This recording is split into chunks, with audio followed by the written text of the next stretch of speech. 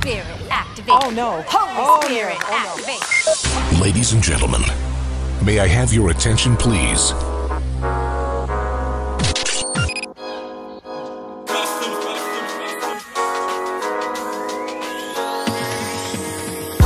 All right, what's up, everybody? It's your boy ATB PTB. Y'all already know what it is. We in the lab, man. Today, I got a special guest. We've done ministry together. We rocked out together, uh, same city for a minute, and so I'm super excited to have my friend Pastor Curtis Friday on with us today. How you doing, sir?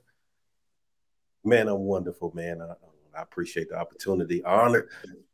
The first time I ever been on this great platform. I've been seeing it all over the place, man. So, man, I'm honored to be on here, Yes, man, sir. to, to share. Yes, sir, man. I appreciate you coming on. Of course, like we uh we we talk on the phone and have different conversations and stuff. And so it's like a little, I guess, a little bit of a window to the people, uh, you know, how we talk and how we get along and um how we deal with ministry. Um, but the name of the show, of course, is What's Your Element? So without further ado, what's your element? Man, I am. So I'm a pastor at Okay. heart, man. I, I love people. So yeah, so I got that pastor heart. You know, I rock, you know, um, with prophecy. Some people be calling me a prophet, Yeah, you yeah. know, but I don't I don't go around taking on titles, you know, whatever I use me as, but I do know, you know, I love people, man. So I, I pastor. I got you. I got you. Now everybody has an origin story to they to their their life, and as you know, ministry is difficult. Um, it's fun. It's uh sad. It's like all of the emotions like balled up into one. You know what I mean? And so I think my first years in ministry, I was wild, wild eyed and bushy tailed. I guess you could say like I was like, oh snap. I'm gonna, I'm gonna be like Elevation Church, you know what I'm saying? I'm gonna grow my church to 8,000. You feel me? Like in my mind, I'm like, this is gonna be crazy. And it's like, yeah, that's a fantasy world because Yeah. you know there's so many ebbs and flows, there's so many different angles to ministry. You know what I mean? So, like with you, how did how did you get your start, and were you in the same type of mindset? man i was in the so so when i first started ministry i was i had uh, i was an armor bearer for a pastor for maybe seven years. Okay, following my pastor around and um you know just something just kind of hit me and I, we we kind of left that church went to another church and i was sitting back in the back of greater cleveland avenue. I, I know some people know that church. I was sitting back there and god was like there's something more for you. So i went and watched tv and i was watching um, pastor mike mcclure jr on tv and i said man I'm gonna do that. I'm gonna do this in the city, you know. So I had those big dreams as well. Like when I watched on TV, I said, "Man, that's what I want to do here in the city." Mhm. Um, lo and behold, man, what you see on TV ain't what you get in, per- in real life. What?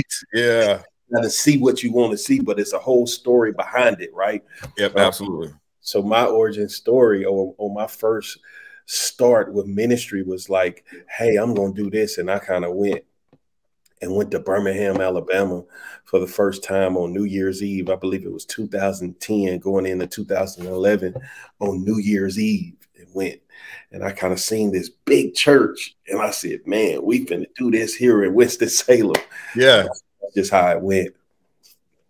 yeah. And uh, what what what was the the moment? What was the moment, if you can remember? What was the moment where it hit you that like it wasn't gonna exactly be the way you thought it was gonna be? like you said, you can have your dream, you can have what God told you, um, because God gives us all a grace to do something. You know what I Yeah. mean? Whether it like your church is the city's church, whether you are the city's pastor, like whatever that thing may be, God gives us a grace to do it, right? And so, like, when did it hit you that whoever else you was watching wasn't your grace and you had your own? Like, when did it hit you? Like, oh snap, I got Yeah. my own. Yeah.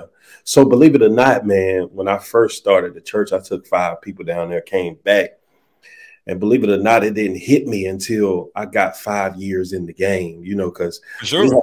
Because we came back and we started growing, blowing out the waters, leaving from this building to this building to the next building. It was just kind of completely going.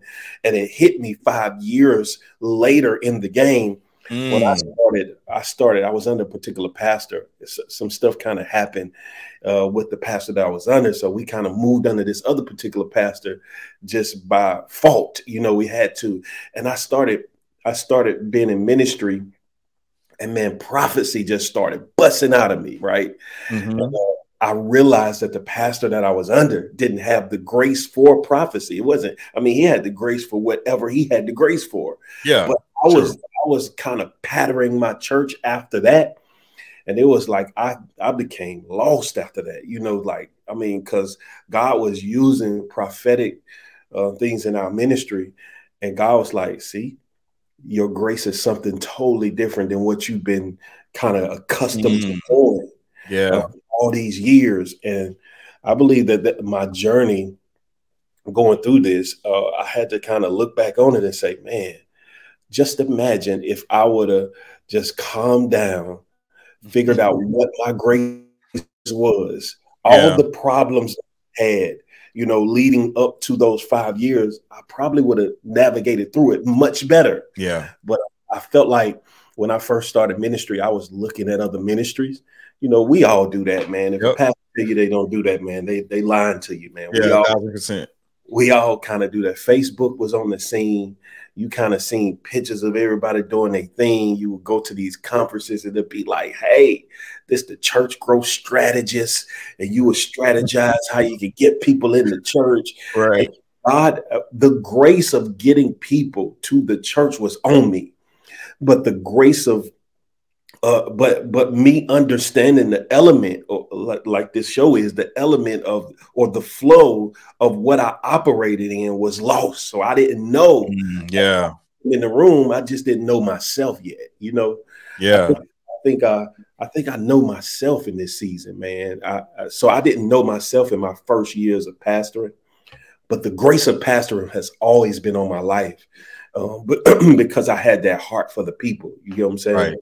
Yeah, no, that, that absolutely makes sense. And I think that's what now I know like today, if you taught a class to young pastors or even just pastors just starting out, no matter the age, like that would be one of the things that you tell them because I think that when we first start, we just don't have a clue about who we are. At least, uh, you know, a lot of us, we we coming out a lot of stuff. For us, we're coming out of um, we're coming out of the black community, we're coming out of um just different things that depending on where you're from, how you were raised, are going to affect you later on in life.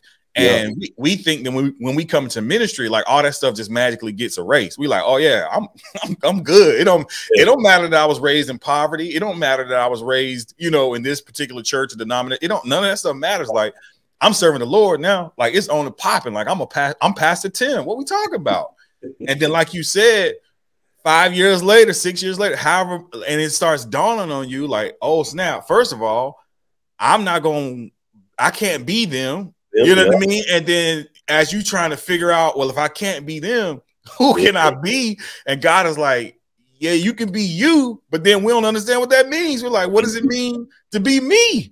You know, so like, what did it, what did it, how did it shock you, or what was your first reaction, or some of your first reactions when you realized, like, I don't know who I am, like, I don't know myself, like, I got to figure this out. Yeah. So when I first realized it, man, I started going through this warfare. I think sometimes God allows you to get mature enough and get to a place where He has, because He ain't gonna stop. He ain't gonna let things or the enemy stop so that the people who need to get saved, uh, you know, He ain't gonna let it stop. They they gotta get saved. So He gonna use you into that point. But Yeah. God Yeah. started expecting more out of me, right? So when I started when I started growing to a to a point, you know, in ministry, I start looking around and said, God, this ain't it. And he Mhm. started telling me, I tried to tell you a long time ago, right. like you're, you're not like everybody else. Right. Now you gotta now you stuck at this place where who everybody is looking onto it, it looks like success from the outside. But from the inside, while I'm looking in it, God says, You think this is success, but it ain't until you find you. Mm. Um, and things started shifting, man. I I, I just seen I just seen this, the ministry start shifting. Uh, people started leaving. It just started, you know, when I kind of realized like this ain't me. Mhm. This ain't what I'm supposed to do. And that was about eight years in the game. So like eight years of ministry. You know, I've been pastoring 11 years. So Yeah. eight years in ministry, things started shifting. And God said to me, I mean, he literally said to me, like, you're gonna find it surprise what I have to break down to get you where I need you to be. Ain't that crazy? Oh yeah. man. Yeah. And things started breaking down so that God can get me exactly where he needed me to be because I don't care what you do or who you try to pattern your life at after Mhm. assignment that he has on your life got to be fulfilled. Yeah.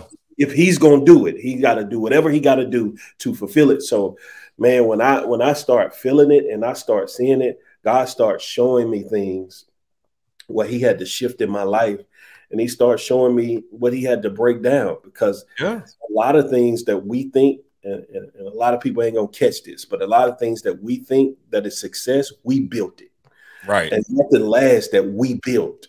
So I'm not I'm not saying that our church that God didn't build it. I'm saying that there are certain bricks and pieces and things that's in the middle of it that was mine. So I put it in there because of what I saw, what and I didn't seek him. I can remember, man, doing a funeral. I tell this story all the time, man. I did a funeral. I used Mhm. to do all the funerals in the city, a lot of the funerals in the city, and people used to come and get saved. I did a funeral and people got saved. Drugs was thrown at the altar. Everything was crazy. And a pastor that was sitting in there, I never seen, I don't even know who he is to this day. I can't even remember who Yeah. he, he walked up to me, and I know he ain't from here. He walked up to me, says, There's a quite anointing on your life. But guess what? You ain't gonna fulfill what God has for you until you take a break for a while to figure out who you are. Yep. That's the man said to me, and I looked at him and said, So so so is this like year four, year five? Like what year are we in at this point? "This was like year seven. right. That's crazy. So Yeah, he's in here prophesying and like you're gonna have to take a big break, and which sounds just crazy to a person who's like neck deep in ministry. Like, bro, I, I'm preaching all the time. I'm going here. You see, you see what we doing in here. You see, you see this funeral. It was just a hundred people just got saved and dropped their drugs. Yeah. Like it was crazy. Yeah. He said, "Yeah, man. Yeah, you're gonna have to take a break." sometime." You know what I'm like, and I'm looking at him like, man, get out of here. Get man. out, You tripping. Yeah, you the You know, at this point. A lot of times tell us stuff, man, we be thinking they hating, but they really not. They they coming from Yeah. God. There's a bit of proof in all the hate that you think Yeah. it is. You know, That's crazy. man. and, and and and I can hear the frustration. And people don't know how how fast the pace is when you're a senior pastor. Like Yeah. everybody else gets to do 30 miles per hour. They get to hear from God, make mistakes. They get to take breaks and then find God again. It's like, bro, I got to find God every single week, you know, potentially Sunday and Wednesday, you know, and the, the pace of pastoring is like 85 miles per hour. yeah, And when you're going that fast, you don't get to um, see what God is saying in the deeper parts of your soul. You don't Yep. get to see what the the deeper things that He made, like you said, send random people to talk to you. But if it ain't elder so and so in the church or prophet, prophet or prophetess so and so in the church, it's like I don't even really hear it, you know. And even sometimes the elder or the prophet in your church is saying something, you still can't even hear because you're going so fast, and it's like people have to have a certain level of grace for pastors. If anything, and you can tell me how you feel, but anything, if anything, I would tell people if you want your pastor to see something, like help homeboy go on a vacation. You know what I'm saying? Like, and I, I know that could be a little bit like, all right, now we get into money and stuff, but I'm serious. Like, is there a way for y'all as a church to put together a package where this man can go on a break, this lady can go on a break, and you know, there's preaching opportunities for maybe guest speakers or whatever, and you guys find a way to line up, you know, even two weeks worth of time where your pastor can go away to the mountains or wherever he needs to go to hear from the Lord. Like that's the most that is the the biggest investment to me. I know there's smaller ones, but like a big investment to me for your pastor is to make sure that he gets away, gets out of town, and goes rest somewhere. Otherwise, how does he hear at 85 miles per hour? he don't. He's going off the fly. I know a lot of pastors that's just going off the fly. You know what Mhm. I'm saying? Been doing it so long. I've got into a routine. I'll just talk about me. I've got into a routine Sure. of pastoring where I've done it so much and so long and seen so many people get saved. It was just like a, you know, a snap of the beat. You know what I'm saying? I could get up there and just preach, even if I didn't study that night, because so many things was going on. I had a funeral that night, Yep. wedding going on, had to go to somebody's house and pray, had to do something for this person, had to go to somebody's hospital visit, had to do this, do this, and do that. And yes, we had other people that do it, but I was so hands on. Listen, I was young. I ain't come from a church background, so I really Yeah. didn't have the example of a pastor. So uh, only people I'm looking on is those people, those mentors, those coverings that I have, which are not in the state. And so like I'm like, no, I gotta be there. No, nah, that's my members. I gotta, I gotta be there. And you loving people so much and you going, going, going to when Saturday night hit, it's a special. Yes, right. You know what I'm saying? Yeah. So, so, this big break that I had, man, and I, I'm really grateful for it let me see in from a peripheral. Like I'm looking and saying, boy, what was you thinking? You know what I'm yeah. saying? Like, hey, the zeal was so fire. People were so pumping you up. It was so much amens. And then when you look in for a peripheral, you like, yeah, they was happy then. But guess what? When you have to take care of yourself, then you will see what the real is. But you can't even blame them your zeal that yep. got you in the mess. You know what I'm saying? Yep. So now I've learned so much as pastor, man, of what to do. It and you can go to all the conferences you want to. You can go to all the people you want to go to. There are some stuff that you're going to get, but there are some stuff that life and lessons can only teach you, right? Yes, There's some that you're gonna have to do. There's some people I talk to right now, bro, and I say, nah, I can't tell them nothing. They're gonna have to do it. To, they're gonna have to do it. They're gonna have to go through it. They're gonna have to do it to find out. It's like your kids, man. You just gonna have to do it to find out that you going the wrong route, right? Because yep. your route might not be my route, right? So you may be you may have to hit this wall to pop back to say, oh, what was I thinking?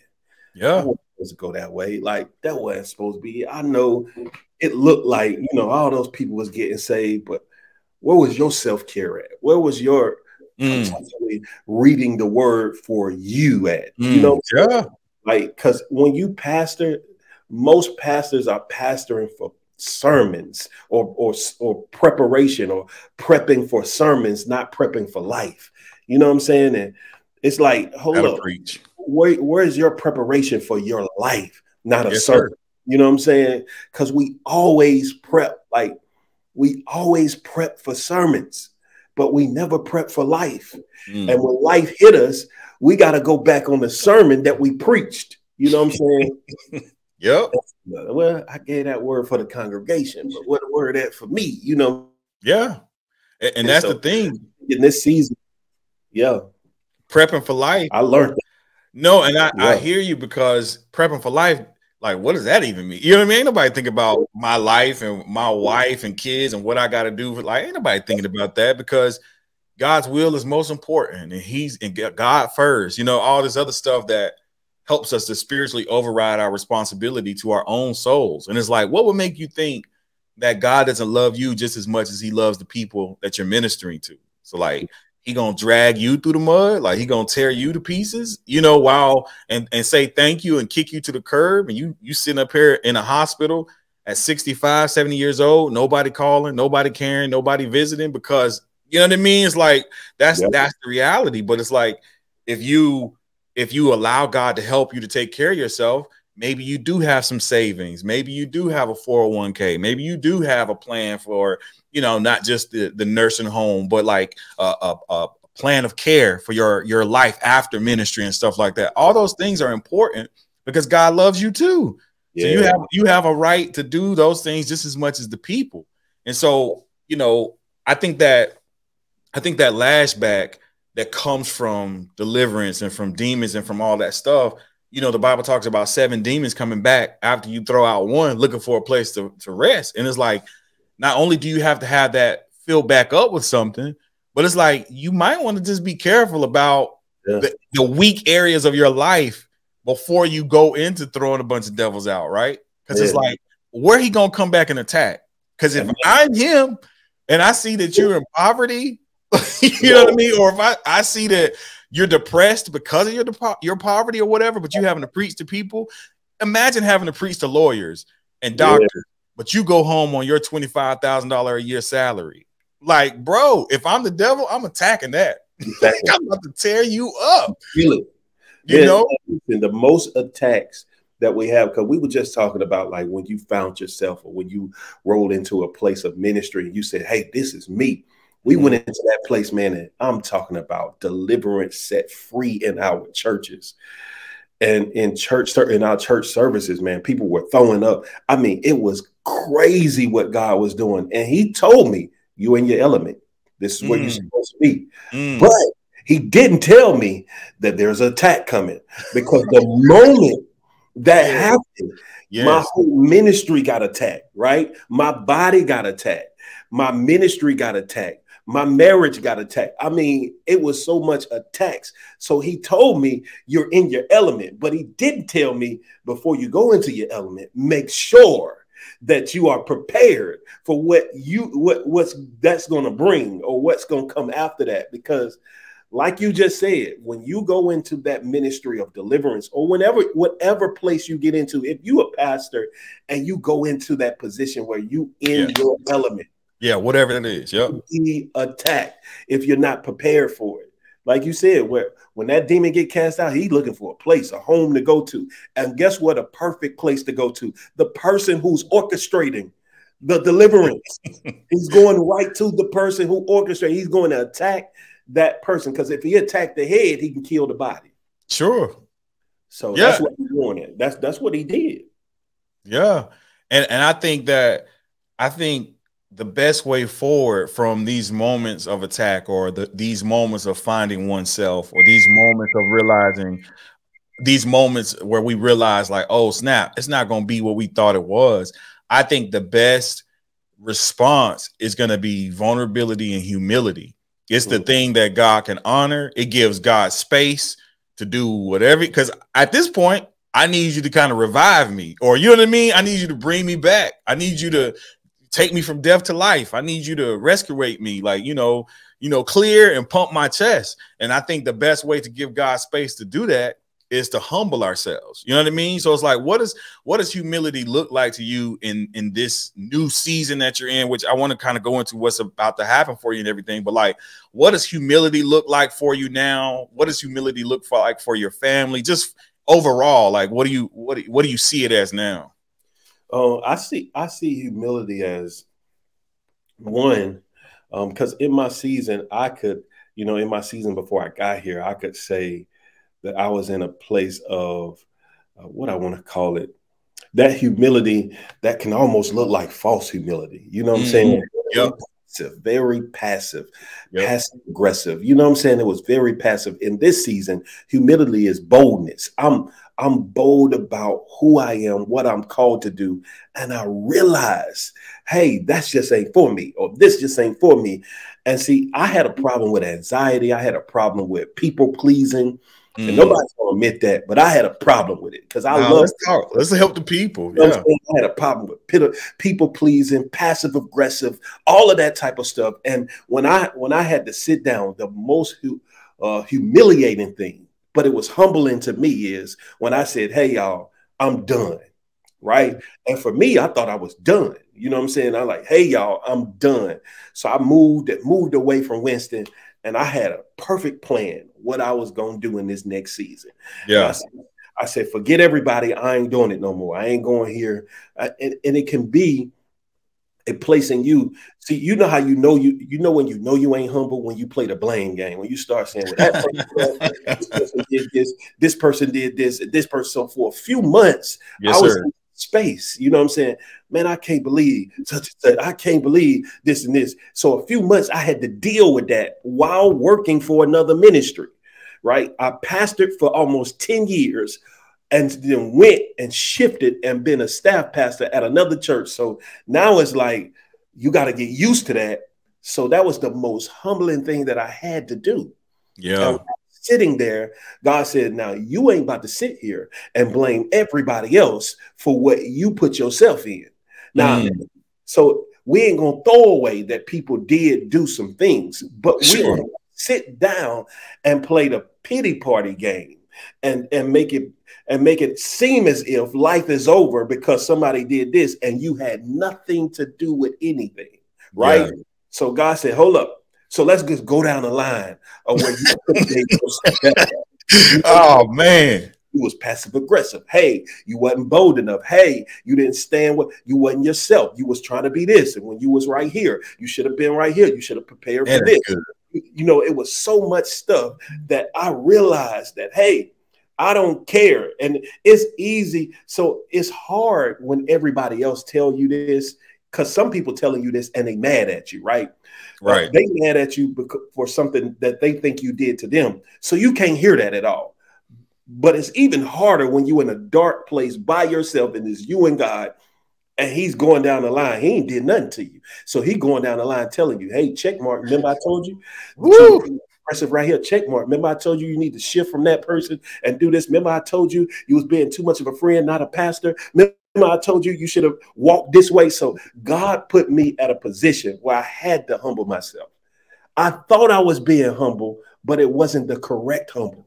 Some of us got an idea of what humble mean until God show you what humble really means. I thought mm. I was being humble. But mm. God said that ain't my definition of humble. You passive aggressive. You you you too you too you being too personal. You you you too, you too much. Wow. Listen, you giving your heart to you doing too much. Like wow. that's not my definition of being humble.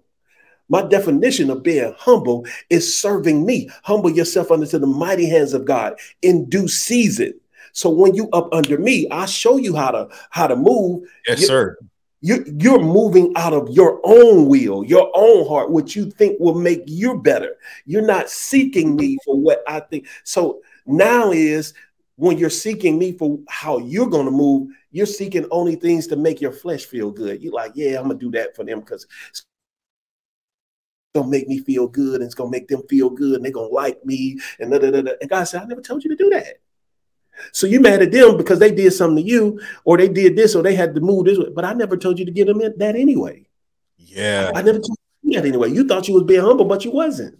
Yeah, that's powerful, man. And and that I I really think that that's gonna help some people, especially like ministry people and stuff. That's powerful. You said, you know, when when people tell you about yourself, but they may be mad at you. They may have any type of attitude. It's kind of yeah. hard to hear that.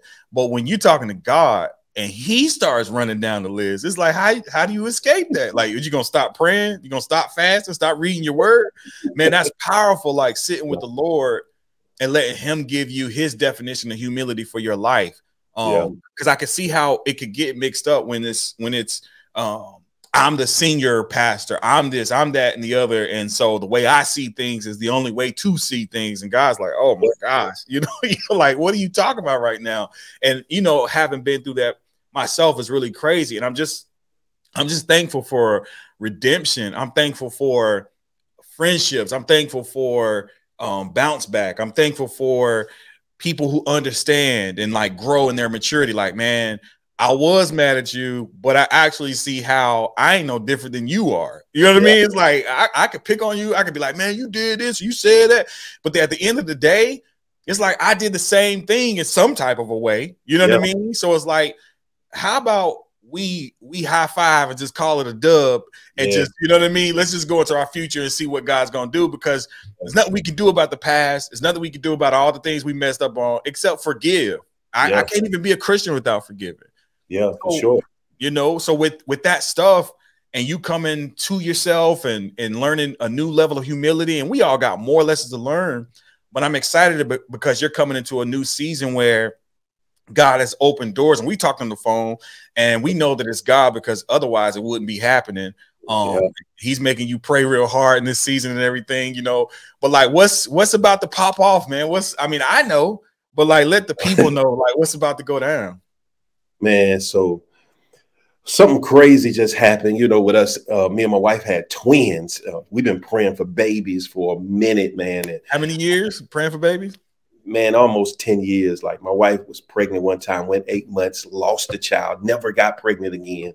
We in the church praying for everybody to have babies. They having them. We sitting there like, hey, hey God, all right now. Like we've been celebrating people long enough, God. What what's good? You know what's what I'm saying? He blessed us with twins. We end up going away uh, from Winston. Long story short, going away, I just kind of got this call from God. Said, "Hey, all right, now I'll let you rest. You got to go back to where you called. You got to finish what you started. You know what yes, I'm saying? Sir. There, there's something that's a so I always know that there's a grace on my life for Winston Salem. There is something here, you know. I, so I've got the idea that I'm not trying to be big, just effective now. When I was younger, I wanted everything. I wanted to be big. I want all the seats, all the seats filled right now, not now, but right now. Every mm-hmm. strategy. Mm-hmm. But now I'm the matured enough to know like it's more about being effective, right? So he came back, man, praying and I start hitting people up. Uh, I still had a database. Hey, y'all, I'm back. And God just started moving, man. There's a church that we were, you on staff then, and we were looking at this church, and we would have had to do heck of a work to the church. I'm talking about crazy work we would have had, yeah. and we would have been paying uh, a lot more to be in the church. When I came back, man, the doors just flapped open, man. We we about to go into that same building for way less than what we were going to move in. Uh, I'm talking about less than half of what we were going to move in there for. The partnership is there. It's wow. just or just open, and God just gave it to us basically, and yeah. said, "This is the season of partnership. You're about to do something." And I, what I see right now is about to happen. Is getting ready to it's not getting ready to reinvent what we done. It's getting ready to add to it maturity, and it's getting ready to be mm. way way much better than what it was. I promise, man. I can see it coming. I see what God doing in details of how He's going to move on our behalf in this season. So I'm excited about getting started, man. We are in a we are in a a season of trusting God, having yeah. faith. Yeah. But I've been here before. You know what I'm saying? These are things that I've been here before. So even me talking to God, God saying, man, I took you through that before like you already know that if you trust me, I'll provide for you, you know. And it just takes me back to the scripture that says, man, all things work together for the good of them who love the Lord and called according to his purpose. And like we were talking the other day, man, there's some stuff that's happening. Me and you both saying, man, if it wasn't God, this couldn't have happened. Right. This couldn't, this can't be true if this was your own will of saying, and I had a great opportunity to do something else with a way bigger ministry. And God said, I don't care what you try to do, it'll never work until you do what I tell you to do. And yes, what sir. I need you to do is shift back and get back in position because there are some people that are waiting for you to get back in position. I, I believe this is the season, man. Yeah, man. I believe it. I believe it too. And and so you guys are going back into full fledged services at yep. the building that we visited some odd year, two three years ago. At this point, that was thousands of dollars worth, you know, of renovation. But now you guys, uh, God's blessed, and you're moving into that building, and so uh services renovation with new renovations, like not like we just gonna have paint, you know, peeling on the walls and stuff. Like we're actually in here and it looks good, it smells good, fresh carpet, fresh every fresh lights, sound, you know, the whole nine. Yeah. So you're gonna start having services in October this month, right? Yep, October the 15th, we're about to have services. Um, God is God is leading me to. He told me something when I first came here. I came back and God said, "I want you to say nothing for the first four months. I need you to be in solitude and prayer because what I'm about to do, you're gonna need to have a consistent life of prayer. Because mm. going into the season, I don't ever want you to get back to the point where you used to be. Right. So mm. I want you mm. consistent with prayer. And then He said, I don't need you to market the spirit gonna market, right? So he said, I don't need you to do a lot of marketing. You know, it's, it's a lot of people who say, Hey, why don't you do a launch party? Why don't you do a launch this? And God said, See, this is the first test. And I told um, one of pastors, this is the first test that you get to go and do it the way God told you to do it, not the way mm. nobody else said it. So I'm not doing it based on the trend. Hey, you and I'm not saying nobody's doing it wrong way. I'm saying for for me. God yep. told me to do it this way. Yep. Well, the God only way it's going to work, you do it this way. Don't market. Don't do no launch team. I want you to go in the system what I provided you with, and I promise you, I'll do the rest of it. You don't have to do anything else but what I said do. And I, I, I believe he's putting it together. We already got 40 volunteers already ready to go. We got things are opening up, sound equipment in, signs and stuff in. I ain't did no marketing. I ain't even raised the offering. Yeah. But God said, This is faith. This is the faith move that I got you in because the level you're going is getting ready to be blown out of the water. So. Man, man, I'm so proud of you, man. I'm so proud of you and your wife. And yeah. I'm so happy for y'all with them two baby boys. And um, I'm just I'm just excited to see what God is about to do in this next season in y'all's life. And you you mentioned having a, a, a discipline of prayer and having that that set prayer that this time can keep you um you know whatever god shared with you in, on that personal level like what that was for. And i think that's amazing but it does lead us into our next section where i uh i pray for the guests or i have the guests pray for me or for the crowd or whatever. But i really feel like in this moment um to pray for you guys and then i want you to you you to pray for me and Jenn. You know, we got stuff going on and stuff too, and I want you to practice that discipline of prayer on us. You know, um, so but I, I did want to say because I know this is going to be public and a lot of people are going to see it, and I'm going to make sure we air it. You know, before October the 15th, and let so we can let people know and give you, you know, just give the testimony of what God has done. Um, but I am thankful, thankful, thankful for our friendship. I'm thankful that God, you could say, brought us together uh, again. I'm thankful for the maturity that God has helped us both grow on both sides or whatever. I'm just thankful for it all, man. And my heart is like full. Um, and so if you don't mind, I'm gonna pray for you and then you pray for me. All right, no doubt. All right. God, I thank you for um, Pastor Curtis and, and his wife Shamika. God, I thank you that you have um, you have put them aside for Winston Salem. You have hand tailored them and made them, Father. God, and the proof is in the pudding. God, I see how you have taken them, even with their mistakes, even with failures, God, you have still kept your hand on them because you had a plan this entire time. And God, you worked on them. You put them under spiritual surgery. You did things for them that no man can do, that only you could do. And I thank you that you're going to get the glory for that, Father, as people from the East Coast and the West Coast come to see what it is that their uh, hands are working on, that you have graced them for. I thank you, God, that you have done that for the city of Winston-Salem. You knew the plan. You knew that they were the people and the couple, God, one of those people that um, you were going to use to reach the city of Winston-Salem. And so you did a work on them. And I'm just thankful um, to be called a friend to the two of them. I pray, God, that you would bless them, bless their home, their babies, bless their um, their church, God, bless the, the church as it moves in maturity in this new wave of revival. We're believing you for uh, miracles and deliverance and all these other things that are going to happen in the city of Winston-Salem because that's what your heart desires. We trust in you in Jesus' name. Amen. Amen. God, we just thank you for Jenn and um, Pastor Tim. God, we pray, God, that you just bless them exceedingly abundantly above all they could ever ask or think. We thank you for this journey, God, that they are on, God. We thank you for their acknowledgement of their call, God. We ask you to bless them for everything that they poured out that they didn't get paid for, the over and abundant faithfulness that they have to you, God. I pray, God, that every decision that's made in this season, God, that you will guide, lead, and direct, God. I pray, God, that all their children that are going after their goals and their dreams, they've seen the example in the house, God. So I thank you, God, that they are even finding who they are, their gifts, and what they're called to do, God. I pray, God, that even in this season of uncertainty, what this may bring or what this may look like, God, that you are clearly showing them the vision, the path, the view, and clearly giving them more than enough to handle every single move and transition that they have to do, God. I thank you for their hearts, God. I pray, God, that you you know, you release an anointing on their life to be able to even teach other married couples something with their life, God, and with their struggles and with their things that they've been through, God. I thank you for their testimony, God.